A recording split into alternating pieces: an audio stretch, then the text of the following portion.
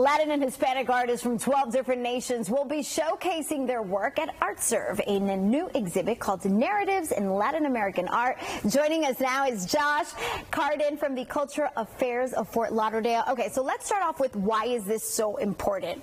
Absolutely. So, of course, we just finished up with Latin American Heritage Month, so this piece is absolutely perfect for the timing.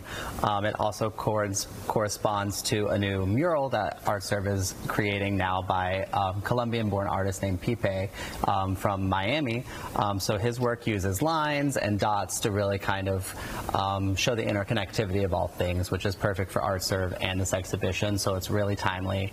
Um, it really is. Yeah. And, and, by the way, can I just add to the fact that like when you think of South Florida, including Fort Lauderdale, you think of the Hispanic culture that's just in this community. So what a perfect way to kind of dive in there and learn a little bit about art. And as we get closer towards the holidays, you have to do things with your kids. Absolutely. Is this for children? Totally. It would be perfect for children. It would be perfect for anyone who doesn't typically go to um, an art gallery or a museum as well. The curator, Anibis Hierro, has done a wonderful job of intermingling visual arts with the literary arts. So yeah. around the entire gallery and exhibition, there's um, text along the walls that really points wow. to some of the themes of all of the pieces. So it's perfect to go to with your friends or family because there are some incredible jumping off points for conversations about the greater meaning of these things. Beautiful. And it also ties together kind of the cultural significance of storytelling in Latin American art. Uh, speaking of storytelling, what is the story that this exhibit is going to tell?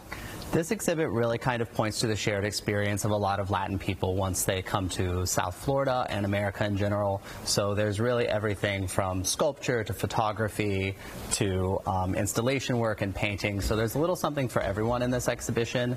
Um, and there's really um, artists from all over Latin America and the Caribbean. So yeah. this exhibition was curated in tandem with the Latin American Art Pavilion, which is dedicated to promoting Latin American and Caribbean emerging and mid-career contemporary visual artists That's worldwide. a lot. it's a mouthful. you did it. Um, but it's really poignant how they've really interwoven poetry and literature and the visual arts in this. And I love it. You're highlighting a couple of different artists. You're giving them a platform to share their story and Absolutely. to keep a conversation going. Totally. And that's really the platform of ArtServe in general is kind of giving artists yeah. a platform to grow and build and sustain their practice through community. You guys are doing a great job. Josh, thank, thank you. you so much. Narratives in Latin American Art exhibit will be running through December 30th.